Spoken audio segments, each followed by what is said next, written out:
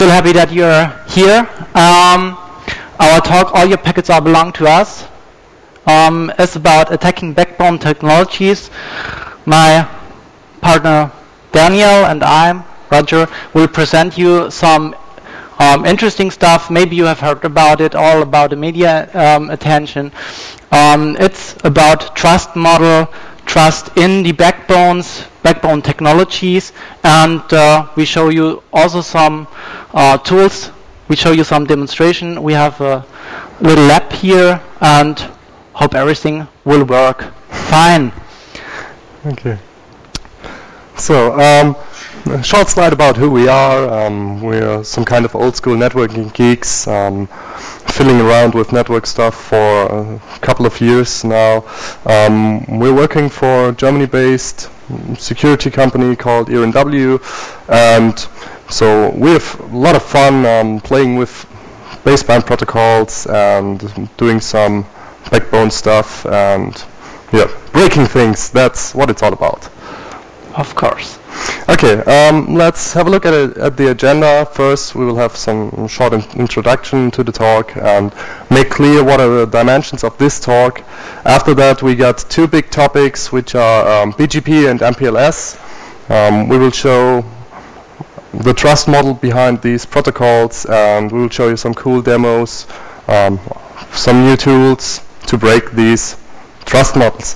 After that, we got uh, another topic, which is carrier Ethernet. Um, we actually don't got a demo for carrier Ethernet because this that would expand our lab um, too much. So we got three big Cisco's to carry it. I think it's enough. Yeah. Okay. Otherwise, otherwise we have to bring a, a huge truck to bring all the devices here. I think these are enough. Okay.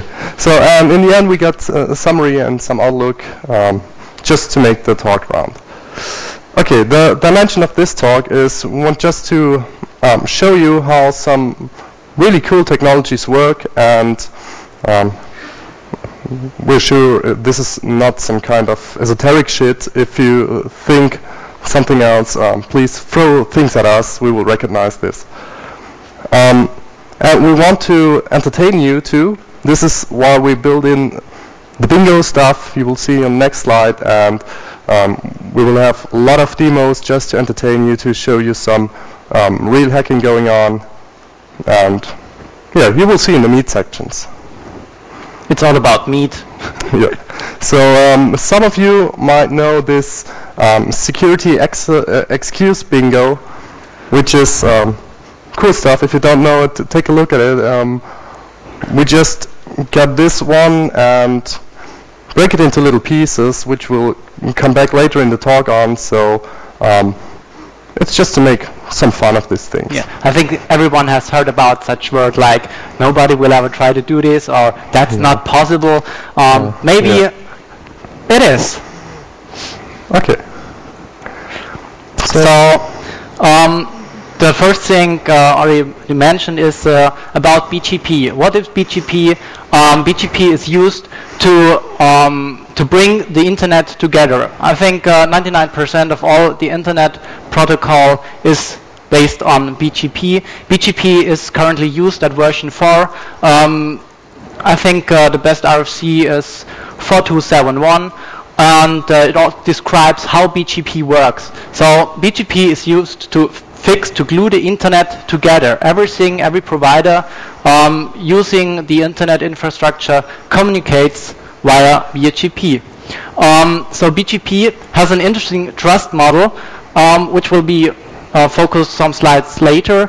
And um, it was a debate last year uh, when we show, uh, see some some interesting um, presentation at uh, PH Neutral, which was a um, private um, party, I and also at the DEF CON where the media attention was really big about, um, where some guys showed how to um, manipulate the BGP information in the internet to get some traffic redirection. So how works it? How does BGP works? BGP speakers, so-called peers, um, try to bring some relationship between uh, each others, and they have some neighbor peers. Um, the BGP relies uh, over TCP, so you don't have uh, such things like multicasting like in OSPF, where all the routers saying, oh, hello, I am a router, um, is there some other router? I have some information about this network and this information. Um, that's not what BGP is doing. BGP is used by manual configuration, so every router in the internet have to be um, configured manually by some administrator or some operator. So it's not really easy to spoof the information at the BGP um, transmission because um, normally you do you do not really see some information about BGP like this hello stuff. So if all the network is set up, so there are a lot of BGP um, peers communicating with each, with each other.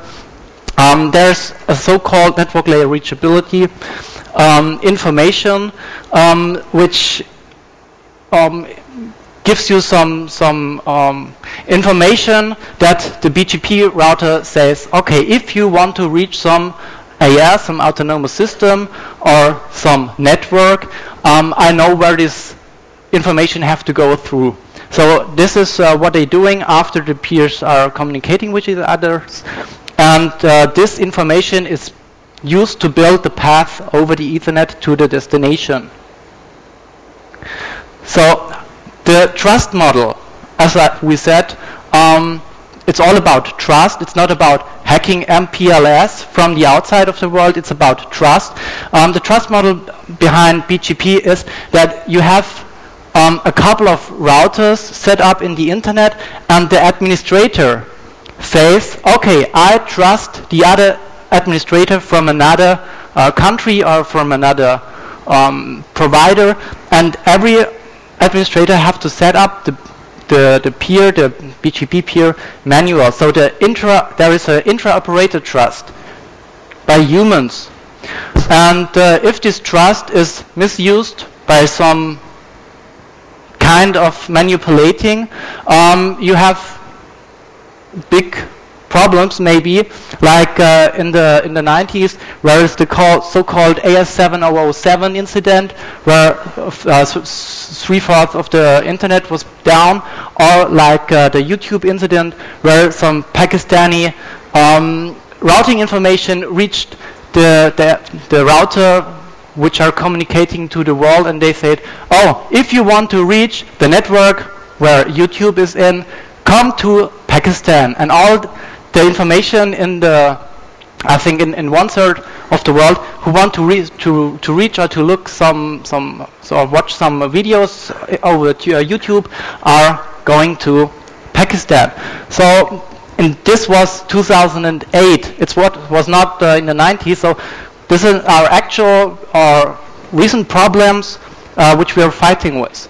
So it's all about trust, and nobody knows is the other administrator trustfully.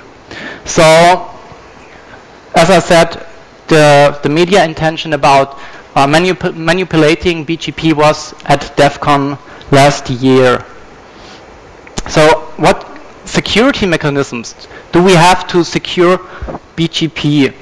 Um, you can use MD5 signature for integrity checking, but MD5 is not inside of the BGP protocol. It's used only to have some um, authentication about the peers. So you only use MD5 for um, proving that the peer you're speaking with is the right one. And uh, now you were made uh, thinking, oh, MD5, it's broken. Um, at the 25th um, Chaos Computer um, Congress.